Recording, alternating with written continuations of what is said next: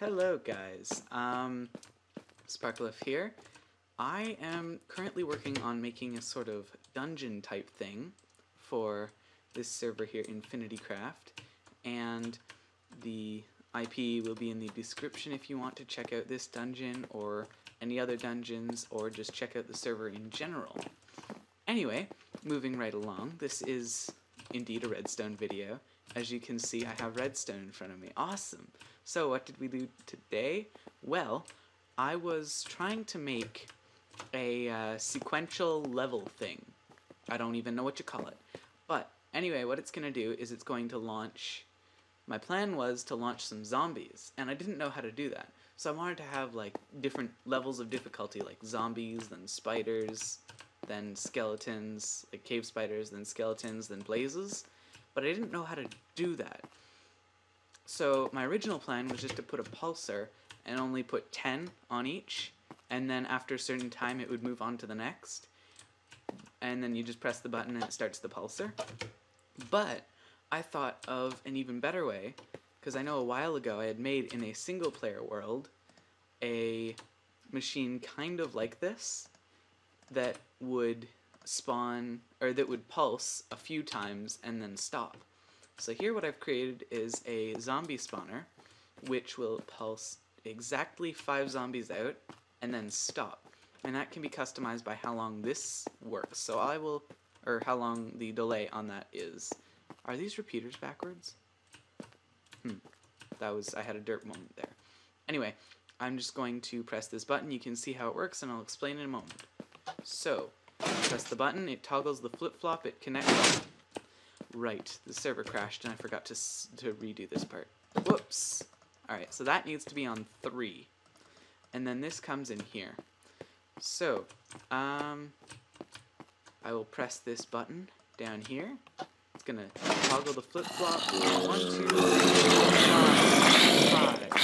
One, two, three, four, five. Exactly five. 5 mobs. See?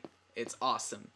Anyway, basically how this works is I have a flip-flop here, and the button emits two pulses. So pulse number one comes out of here uh, on a one-tick delay, and then pulse number two comes out of here on a, oh goodness, I don't want the math right now, but that's one, two, three, four, five, six repeaters on full delay. Um, rule of thumb, it's usually about three repeaters for two mobs ish. I mean, you have to fiddle around with the timings and it's not perfect. But basically what happens is the first pulse opens the circuit. So that slides over there and it stays open and then the second or the second pulse closes the circuit. So then it closes and that means that this stays open for a certain amount of time and now that certain amount of time is determined how by how long between the first pulse and the second pulse over here. So, when we put this all together, that pulses and holds this open for roughly four seconds. Um, and then the second part is a an actual pulsar.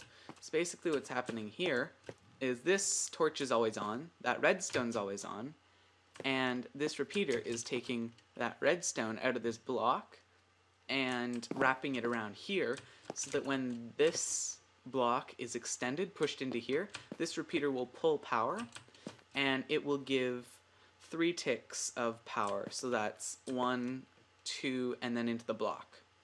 So that means that a little bit more than half is always lit up constantly. No, that's exactly half. Exactly half is lit up constantly.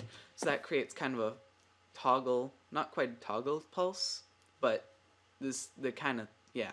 Anyway, I'm not being very clear and concise today. But anyways, that pulses this redstone five times. That redstone goes into this uh, dispenser right here. Sorry if you hear small children in the background. Don't worry about that, though. Anyway, um, this circuit here only stays on for three because when this extends the bottom half of that piston, oops, turns into a block.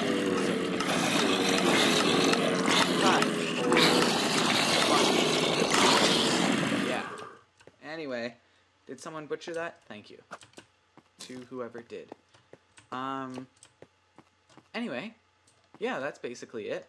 So if you're interested in building this yourself, um, basically, I don't want to give specific instructions because it's important to be creative, but basically you have one output from your button that goes almost all the way, almost immediately.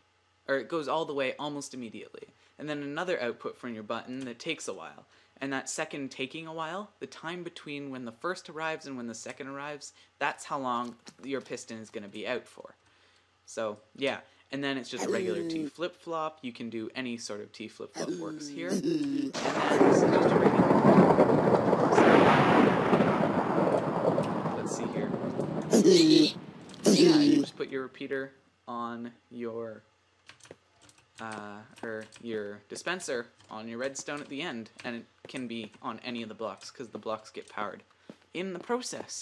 But anyways, guys, I'm going to go right ahead and install these, and maybe I will be back for a finished um, dungeon. However, that might be a separate video, or not a video at all, considering these dungeons. We want them to be kind of challenging and tricky to beat. Anyway, guys, Hope you have a great 2013 because this is my first video of the year, and I do apologize for not posting any videos whatsoever over the holiday season. But yes, I will see you guys next time. Bye-bye.